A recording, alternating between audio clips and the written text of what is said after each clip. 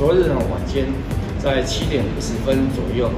在重庆体外变道新庄往树林的方向发生一起这个交通事故，当事人是李姓驾驶人驾驶的这个自小货车，啊，沿重庆体外变道往树林的方向行驶时，啊，与同方向的另一机车啊林姓机车骑士发生这个擦撞。那造成这个机车骑士倒地后，这个造成头部及胸部受创。我们在今天早上一点三十一分，我们宣宣告不治。双方驾驶人经酒测均无酒精反应。约谈这个肇事车辆驾驶人到到案说明以后，